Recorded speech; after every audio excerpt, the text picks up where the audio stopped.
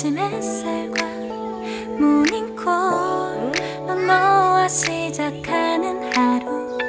마치 내 인생의 포커스가 지금에 맞춰진 걸까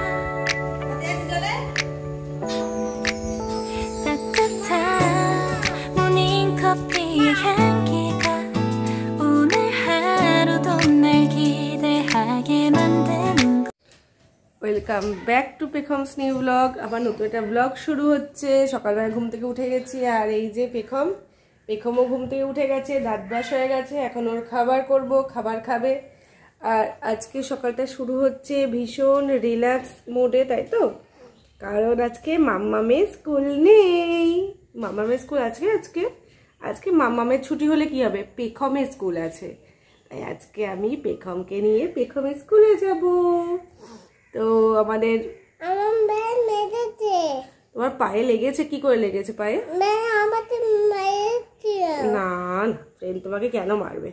friend তো সব সময় ভালো হয়। তাহলে আজকে আমরা যাব আজকে পেখামের স্কুলে যাব আর আপনাদেরকেও পেখামের স্কুলে নিয়ে যাব। তো এখন আজকে তাড়াহুড়ো নেই একদম রিল্যাক্সে উঠেছি। এখন এইট টোয়েন্টি ফাইভ এরকম বাজে পেখামের স্কুল দশটা থেকে দশটা পাঁচের মধ্যে গেলেই হয়ে যাবে। তো এখন জাস্ট পেখমকে খাওয়াবো খাইয়ে পেখমকে রেডি করে তারপর স্কুল তাই তো? তোমার স্কুল যেতে ভালো লাগে? স্কুলে তোমার কটা ফ্রেন্ড হয়েছে? দুটো। দুটো ফ্রেন্ড হয়েছে? দুটো friend- আমার স্কুলে আমার স্কুলে একটাও ফ্রেন্ড হয়নি। একটাও না। তুমি তোমার একটা ফ্রেন্ড দেবে আমাকে একটা ফ্রেন্ড দেবে? কোন ফ্রেন্ডটাকে দেবে? তার নাম কি? তার নাম বন্ধু। হ্যাঁ। আচ্ছা ঠিক আছে। তোমার এই বন্ধু ফ্রেন্ডটাকে আমি নিয়ে নেব ঠিক আছে? ও নেব না?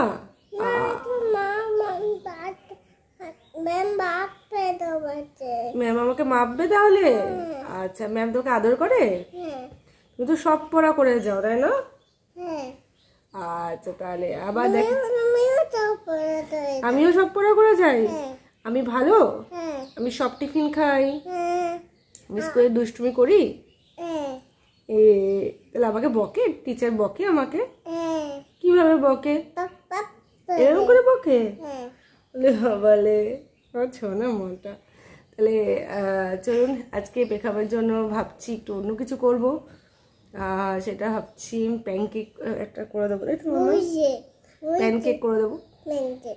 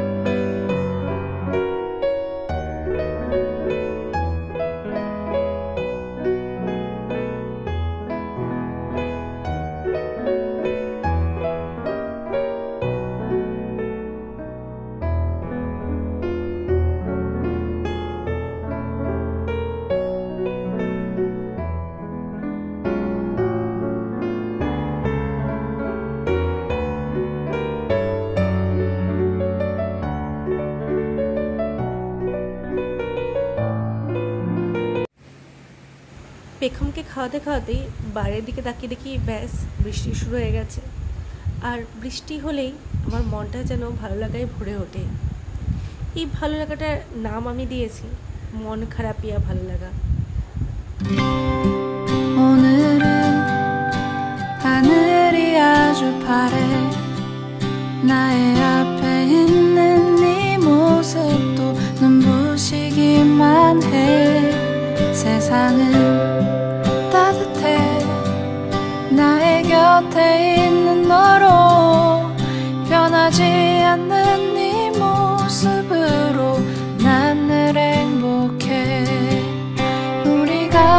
모습으로 난 늘 행복해 우리가 취한 시간들 때론 힘든 적도 있어 পেখমে ব্রেকফাস্ট কমপ্লিট তাই ওকে রেডি করে দিলাম সঙ্গে আমিও তৈরি হয়ে নিলাম ওকে নিয়ে স্কুলে যাওয়ার জন্য 때론 후회하고 서로 미워한 적도 있지만 시간은 또 우릴 기다려주고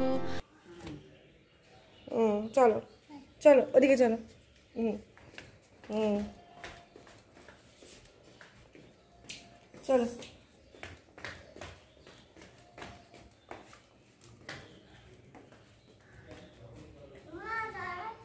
চলো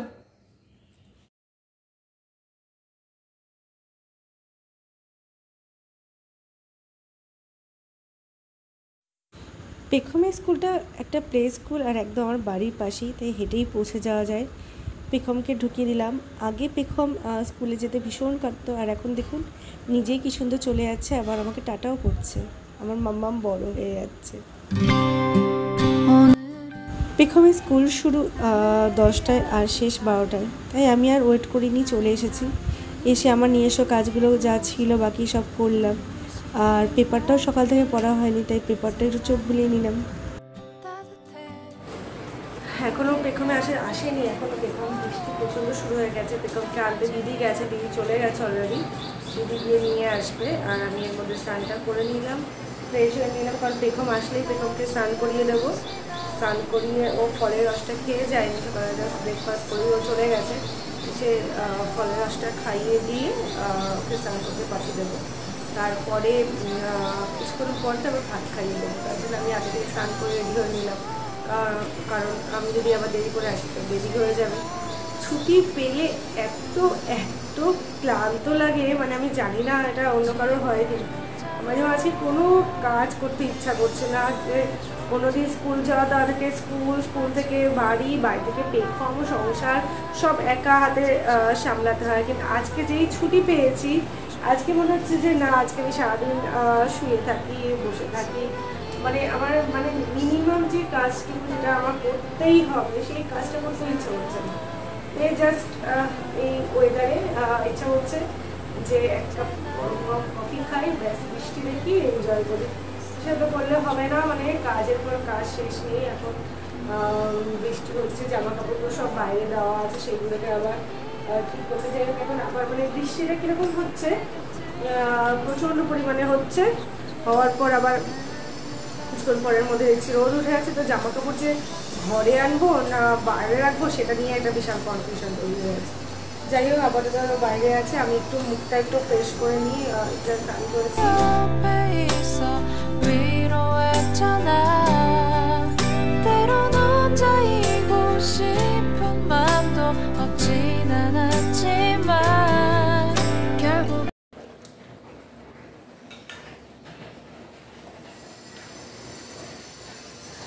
এটা হচ্ছে অরেঞ্জ পিল আর এটা হচ্ছে একটা ক্লিনজিং প্যাক একটা। এই দুটো আমি মিক্স করে আমি একসঙ্গে লাগিয়েছি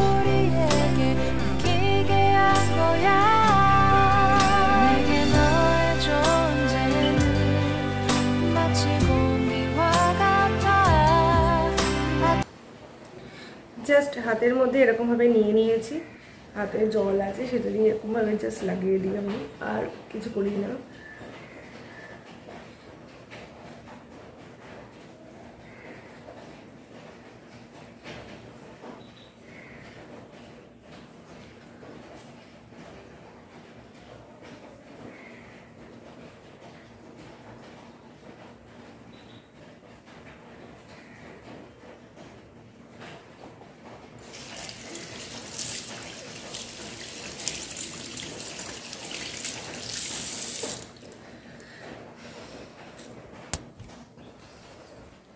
জাস্ট একটা হালকা একটা লেয়ার তৈরি হয়েছে। এর থেকে বেশি কিছু না। এই এই এরকমইভাবে আমি রেখে দিই এটাকে। তারপরে আমি যখন একটু একটু শুকিয়ে যাবে, জাস্ট হালকা একটা ড্রাই হবে তখন আমি এটাকে তুলে দিই। আসলে রোজ রেগুলার বেরোনো রেগুলার বেরোনোর জন্য কি হয়, এত ধুলো ময়লা ডার্ট এসে জমা হয় ফেসে যে আমি মানে যখন আমি মাইসেলার ওয়াটার দিয়ে যখন ডাবল ক্লিনিং করি, তখন আমি দেখতে পাই যে প্রচণ্ড প্রচণ্ড ময়লা ডার সব জমা হয়েছে। এখনও অনেক কাজ বাকি আছে। অলরেডি কিছু জামা কাপড় রয়ে গেছে এখানটায়। সেইগুলোকে ভাঁজ করে রাখা, ওই চেঞ্জিং রুমটা বড্ড জামা কাপড়ে ভর্তি হয়ে গেছে। সেটাকে রাখা।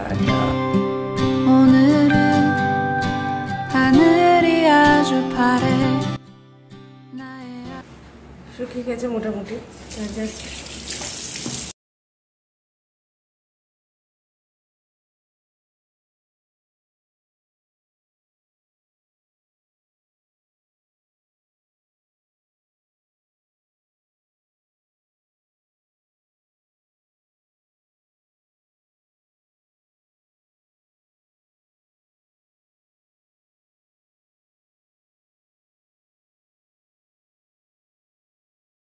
웃어주고 이해했잖아 때론 오해하고 서로 미워한 적도 있지만 시간은 또 우릴 기다려주고 지켜줬잖아 내 তুমি এসে গেছো যাও চটি বাইরে খুলে আসো আ- আর একদম বাইরে হুম হুম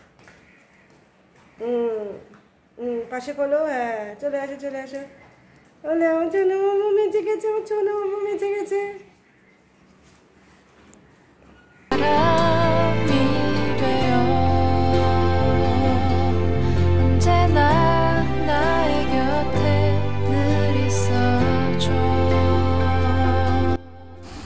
পেখম স্কুল থেকে ফিরলে আমি চেষ্টা করি ওর সাথে গল্প করার। ওর স্কুলের ঘটনাগুলো জানার কি কি টাস্ক দিয়েছে, কি হয়েছে? পেখমকে বলি, মাম্মা, তুমি ওকে দেখাও, তোমার স্কুলে কি করিয়েছে, ও দেখাচ্ছে আমাকে এটা। এভাবে করে ইন্টারাকশনটা বাড়ানোর চেষ্টা করি যাতে ও, ওর স্কুলের সমস্ত যা ঘটনা ঘটে বা স্কুলের ডেইলি লাইফ সেটা আমার সাথে শেয়ার করে, আমিও ওর সাথে সেরকমভাবে শেয়ার করি। এতে করে বেবিরা তাদের স্কুলের প্রত্যেকটা ঘটনা বাবা মার সাথে শেয়ার করা শিখে যায়। কী টাস্ক হয়েছে, কি হয়েছে, সব দেখানো শিখে যায় এবং সেটা পরবর্তীকালে গিয়ে ভীষণ হেল্প করে।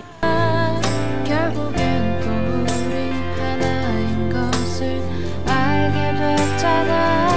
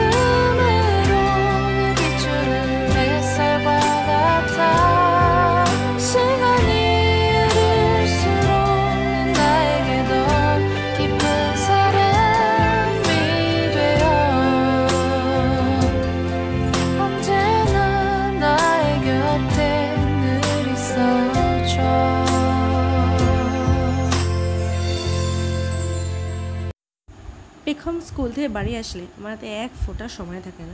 কারণ কোনো জিনিসই ওকে তো একবারে করানো যায় না। ওকে খাওয়ানো, ঘুম পাড়ানো, ফলের রস খাওয়ানো, স্নান করানো সব কিছুতেই আমাকে এত পরিশ্রম করতে হয় যে কি বলব? যাই হোক, ও- আবার এমনি এমনি ঘুমাবে না। ওকে পায়ের উপর এরকমভাবে নিয়ে দোল দিয়ে দিয়ে ঘুম পাড়াতে হবে। এরকমভাবে ঘুম থেকে ওঠার পর আমরা গেলাম একটু মেলাতে। আমাদের বাড়ির কাছে একটা মেলা হয়েছে। তো ভাবলাম যে ঠিক আছে চলো সবাই মিলে মেলা ঘুরে আসি। এটা হচ্ছে মিলন মেলা।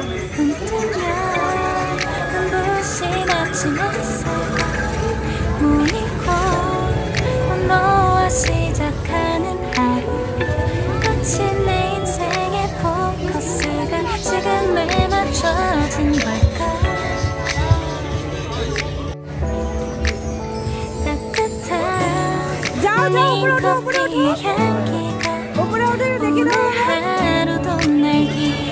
এই বলেন দেখিয়ে দিতে বলো দেখিয়ে দিতে বলো।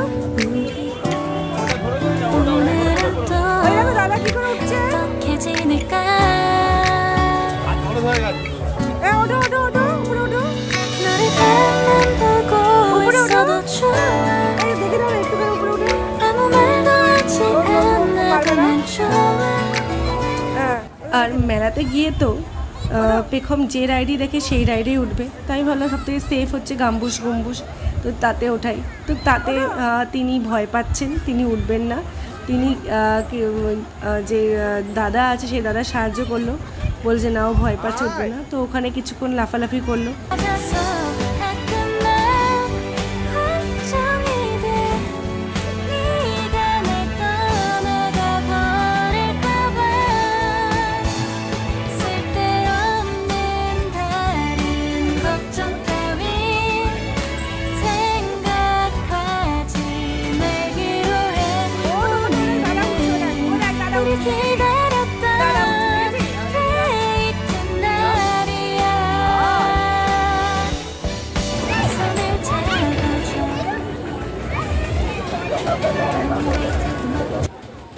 তারপর পেখমে ইচ্ছা হলো এই রাইডটা চড়ার। কিন্তু এখানে সবাই মিলে লাফালাফি করতে করতে ও এতই ভয় পেয়ে গেল যে লাফালাফি করতে গিয়ে কান্নাই শুরু করে দিল।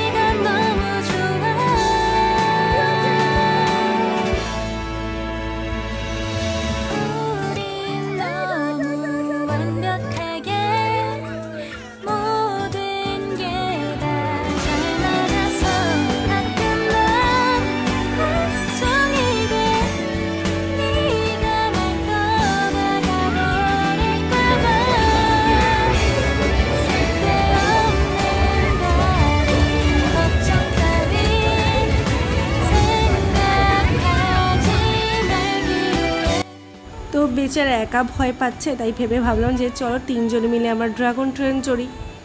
এইবার ড্রাগন ট্রেন তো প্রথম দিকে ঠিকই চলছিল। চলতে চলতে আমরা বেশ এনজয়ও করছিলাম দুজনে মিলে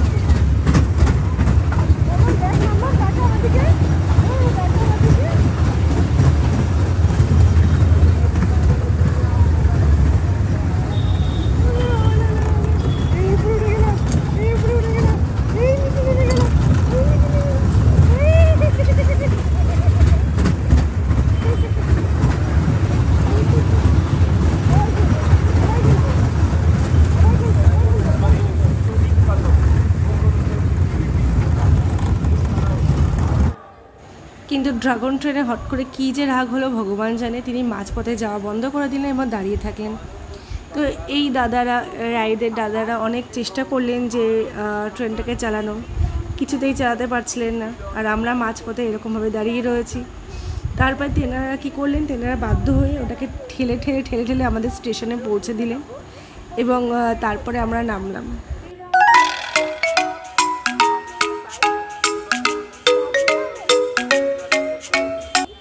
রাইড চড়তে চড়তে বন্ধ হয়ে যাওয়ার অভিজ্ঞতা আমাদের তো ফার্স্ট টাইম আপনাদের কারও কি এরকম কোনো অভিজ্ঞতা আছে?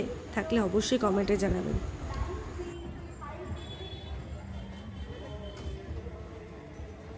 যাই হোক, নামতে পেরে তো আমাদের মানে বুকে প্রাণ এলো, এটা বলা যায়। তারপর মেলায় একটু আরেকটু ঘোরাঘুরি করে পেখমকে কিছু চুড়ি ওর পছন্দ মতো জিনিস কিনে দিয়ে তারপরে আমরা বাড়ি চলে গেলাম। আর ব্লগটা আজকে এইখানে এইটুকুনি শেষ করলাম। এই ব্লগটা আপনার কেমন হলো অবশ্যই জানাবেন। আর যদি একটু ভালো লেগে থাকে, তাহলে প্লিজ একটা লাইক একটা শেয়ার একটা কমেন্ট অবশ্যই করবেন। আবার দেখা হচ্ছে নেক্সট ব্লগে ততক্ষণ টাটা বাই বাই